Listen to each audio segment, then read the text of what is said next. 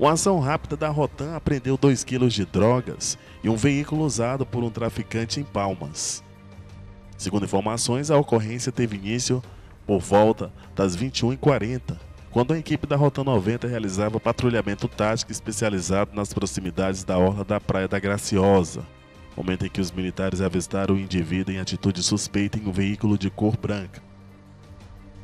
Ao perceber a aproximação da viatura, o suspeito abandonou o carro e fugiu em direção a uma área de mata, impossibilitando a abordagem. Em seguida, os policiais realizaram uma busca minuciosa no interior do veículo, onde encontraram cerca de 2 kg de drogas, sendo dois tablets de maconha e duas poções menores já fracionadas para a venda. Ainda segundo informações, o indivíduo não foi localizado.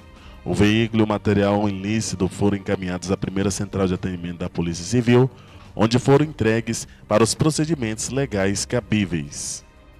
O sargento Moraes, da Rotan, fala sobre a ocorrência.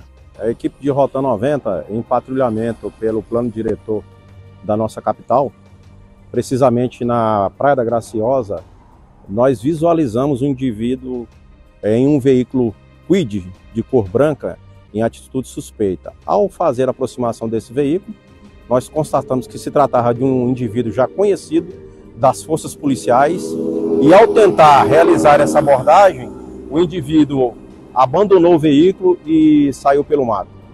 Após a revista e busca veicular dentro do veículo, nós localizamos duas porções que estão acondicionadas para venda do entorpecente, bem como mais dois tabletes, totalizando aproximadamente 2 quilos de substância entorpecente. A Rotan está nas ruas. Esse é o nosso trabalho constitucional defender e proteger o cidadão de bem.